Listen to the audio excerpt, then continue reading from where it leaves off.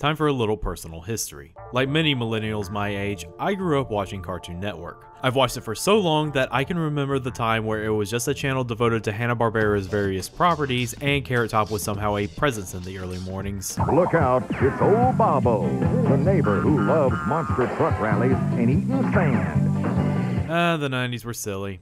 But out of all the times that I've remembered watching TV in vast quantities, the moments that have stuck out with me the most was whenever I would stay over at one of my grandparents' house for the weekends.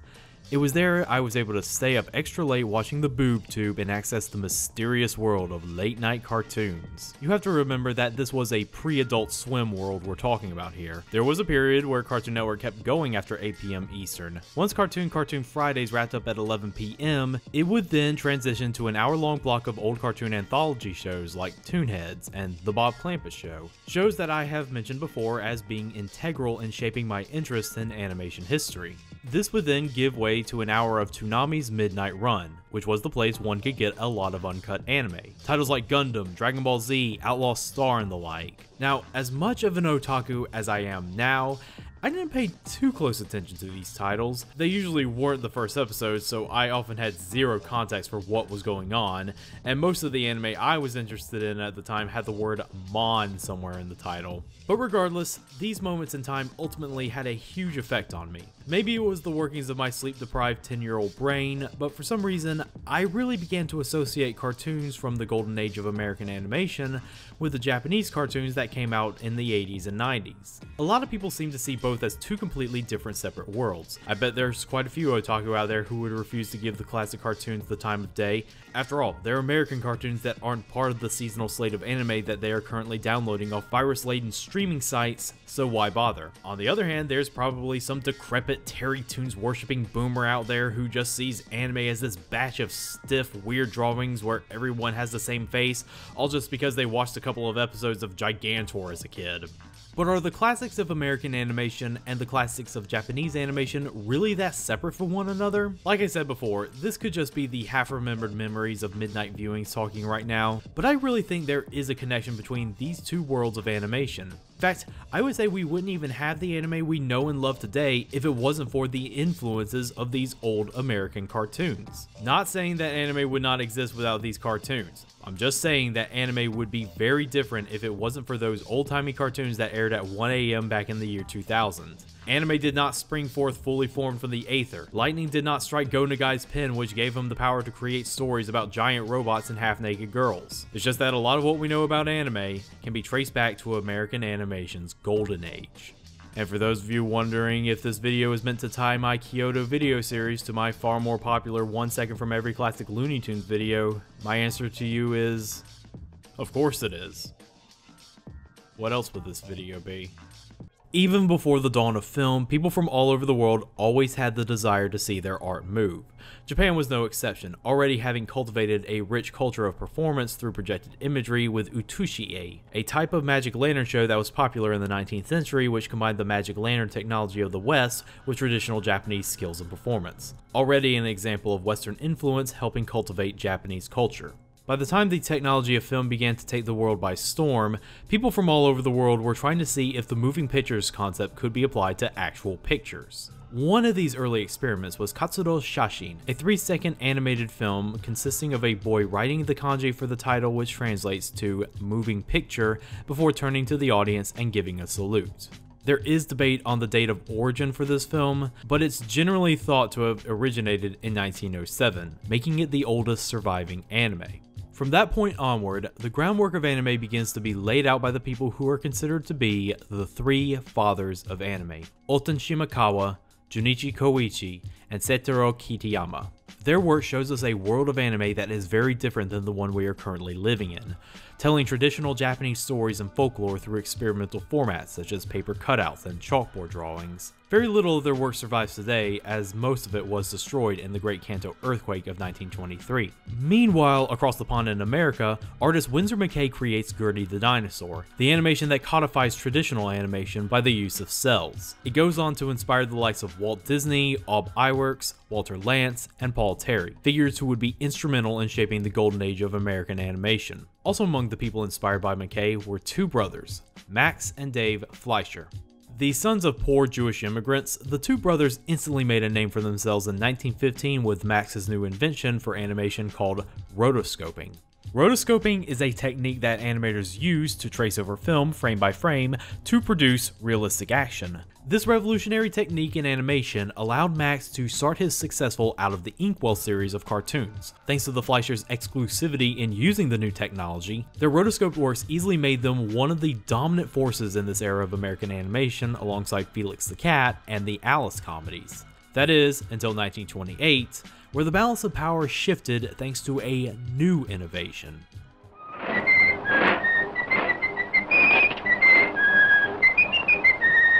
The introduction of synchronized sound flipped the animated world upside down. Walt Disney and his studio had now emerged as the top dog with their cartoons starring a lovably roguish mouse. It was clear that the other American studios had to play catch up. The Fleischers were quick to adapt to the changes as they too had been experimenting with synchronized sound prior to Steamboat Willie. But it was also clear to them that just setting pictures to sound and music wasn't enough. They needed a star. At the newly minted Fleischer Studios, Max and Dave set to creating a character that could rival Disney's new rodent. At first, they settled on a dog character named Bimbo, but in 1930, in Bimbo's third cartoon Dizzy Dishes, a new character was introduced that would soon surpass him in popularity both nationally and internationally.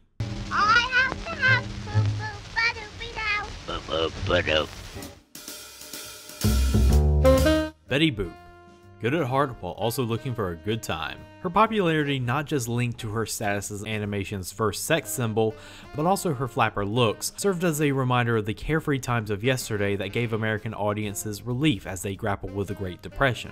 She also helped the Fleischers set themselves apart from Disney. While Disney's work had a folksier Americana feel to it, the attitude of the Fleischer cartoons was more urban, surreal, and wild, like the swinging nightlife of the city. Since these cartoons recouped their budget a couple of times over in the States, the Fleischers were able to export them all over the world for dirt cheap. The place they found the most success? Japan. Betty Boop was almost an immediate hit in Japan. There have been stories from animators who grew up around this time watching Betty Boop cartoons in home screenings. There was tons upon tons of Betty Boop merchandise produced in Japan during this era. Hayao Miyazaki even did a shout out to Betty Boop shorts in his film Porco Rosso.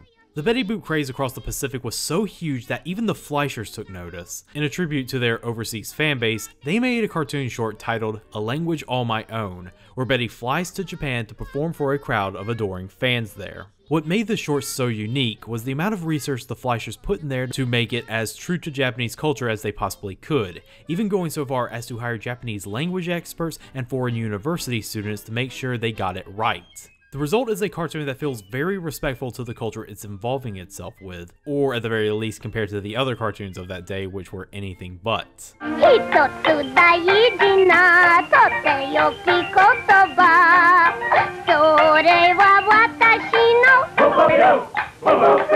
But there was a huge side effect to the fame of Betty Boop and by extension other American cartoons in Japan. While the Japanese film industry was rolling out the red carpet for American imports, it ultimately left homegrown Japanese animators out in the cold. The reason why the Japanese film industry heavily promoted American animation over locally produced Japanese animation was because the imports were so cheap. Japanese animation, meanwhile, was far more expensive as animators were desperately trying to keep up with the technology. Necessary tools such as multiplane cameras, sound recording equipment, and even animation cels were quite pricey, and no studio was willing to foot the bill. As such, Japanese animation of the time felt very restricted to the realm of the hobbyists, and even the animators that were able to make money off their work, such as Kenzo Masaoka, often had to turn to making educational films or government propaganda just to secure funding. These animations really show how animators began adopting techniques originating in America, such as squash and stretch. You even begin to see them adopt character designs similar to the ones seen in Fleischer and Disney cartoons.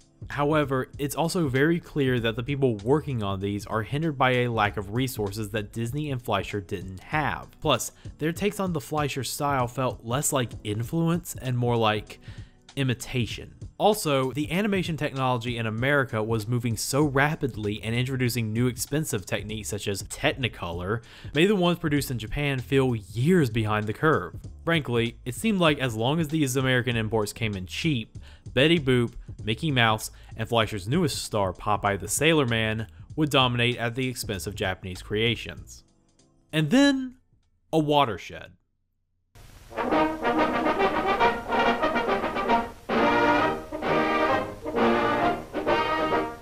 The Mikado is to his people more than king. As Japan's 124th emperor of a single royal family, he is revered as sacred. The trained, well-equipped hordes of the rising sun march on to conquest.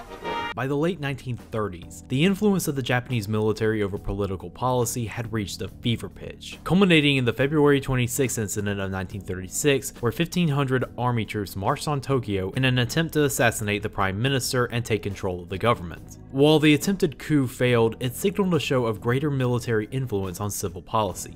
Ultranationalist statism went mainstream, asserting that Japan was the center of the world and that Asia would only survive the onslaught of the Western powers if it was under Japanese influence. By 1937, the Second Sino-Japanese War had begun, and all foreign assets were frozen, meaning no more imports of foreign media, especially animation.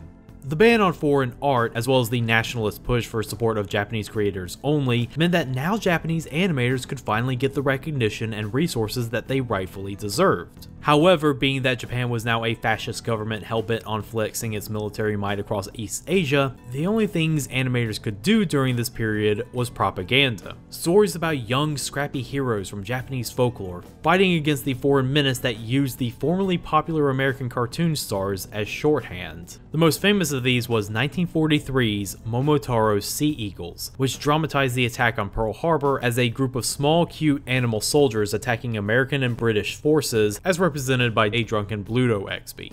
This would later lead to the first feature-length Japanese anime, Momotaro Sacred Sailors, a sequel to Sea Eagles that portrayed the Japanese as noble conquerors who only wished to bring peace and prosperity to the savages of Asia and only wished to invade the Western nations as a means to broken a peaceful surrender. Obviously, neither of these films have aged particularly well, but neither has our own propaganda cartoons.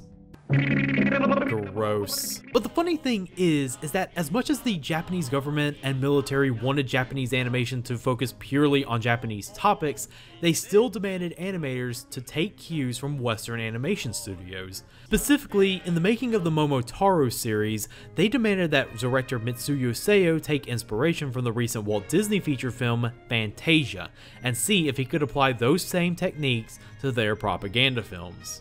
Seo, who was a political prisoner prior to the war thanks to his leftist beliefs, did not refuse them. This period, however, was not to last long. Once World War II ended with Japan's defeat and American occupation, animation pretty much went back to the way it was prior to 1937. Japanese animators got more appreciation than they did before, but American imports were still the default, probably doubly so considering the occupation.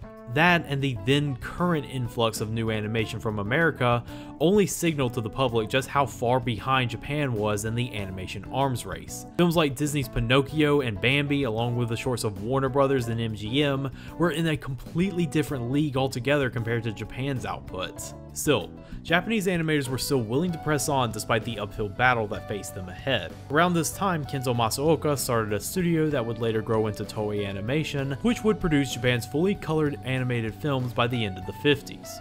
Meanwhile, some artists decided to go into the field of manga. It was safer, cheaper, and now a wild west of content thanks to Article 21 of the 1947 Constitution that prohibited all forms of censorship thus ushering in a huge wave of young, creative-minded manga authors to jumpstart the young industry. And one of these authors in particular would go on to change the face of Japanese culture forever.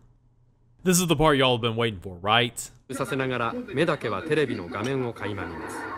させながら目だけはテレビの画面を垣間見ますその一瞬に見た画面がヒントになって壮大な長編漫画が生まれることもあります To say Osamu Tezuka had a significant impact on the world of anime would be like saying Jack Kirby had a significant impact on the world of superhero comics. It almost seems like barely scratching the surface. To a lot of people, he is the reason anime exists today.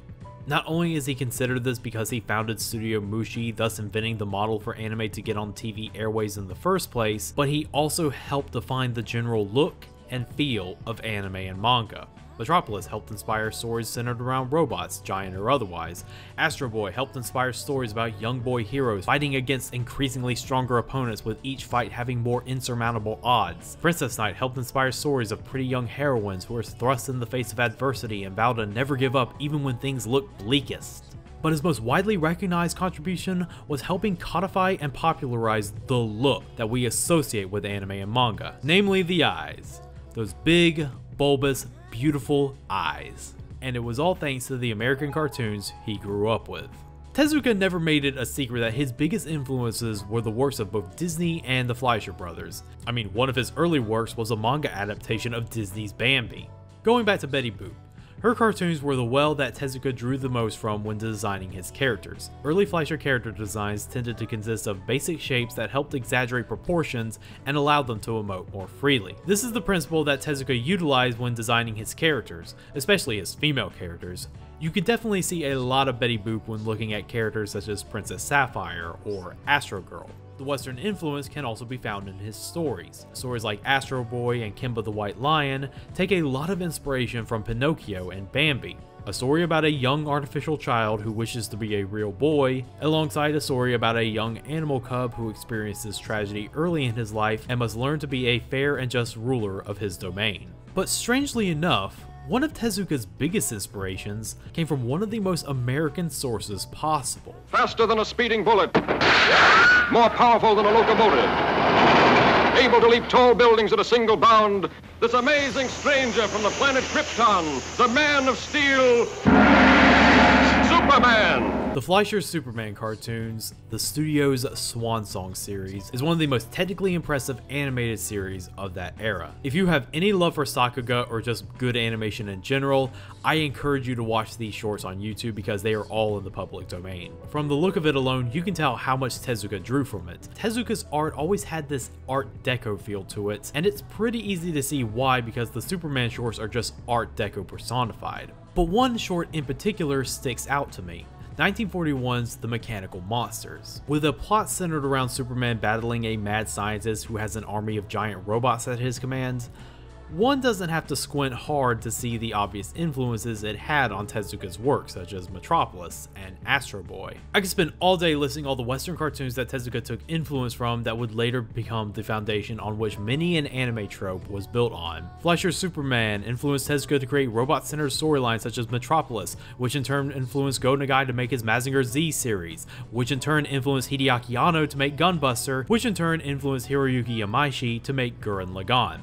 Disney's Pinocchio influenced Tezuka to make Astro Boy, whose feats of strength and overall naivety about the world influenced Akira Toriyama to create the character of Goku, who influenced Masashi Kishimoto to create the character of Naruto Uzumaki, who influenced Kohei Horikoshi to create the character of Izuku Midoriya. The Fleischers created Betty Boop, whose cute, innocent design and plucky demeanor influenced Tezuka to create Princess Sapphire, who in turn influenced the creation of characters such as Usagi Tsukino, who in turn influenced the creation of nearly every moe protagonist ever. Disney's Bambi influenced Tezuka to create Kimba the White Lion, who in turn influenced Disney to create the Lion King. No, no, no, no, no, no, not, not, no, not going there you get the idea, right? It was thanks to Tezuka's influence from Western media that we now have the tropes of anime that we know and love. And it was true influence, not imitation. He was able to take what he drew from his favorite properties creatively and was able to create stories that he could safely call his own. He had taken what others had tried to do in the past and perfected it.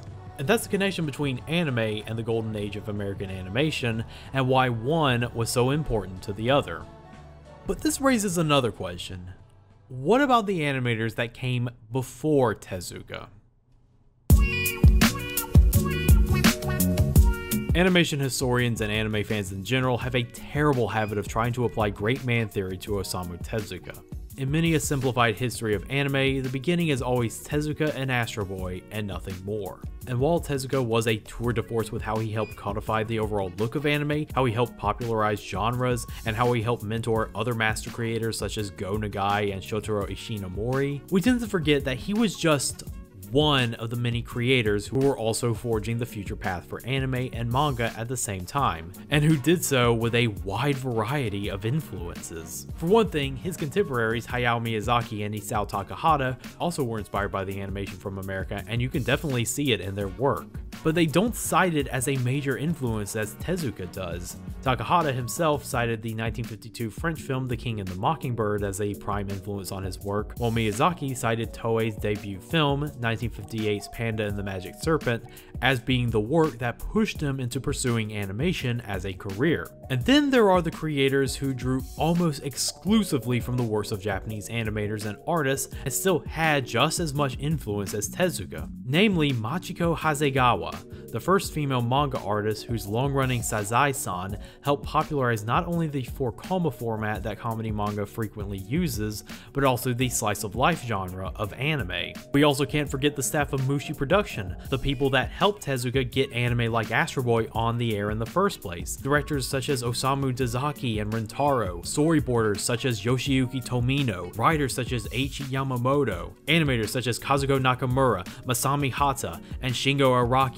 all of whom are just as important figures as Tezuka for helping shape anime into what it is today. The point is, is that while American animation was an important factor in influencing the rise of anime into the cultural juggernaut that we see it today, it was just one of the factors. The animators that came before were still very important pioneers who had helped lay the groundwork for people like Tezuka, Miyazaki, and Takahata to take the next step. We only tend to forget them because of just how hard their work is to come across, even though they were just as important as the three above.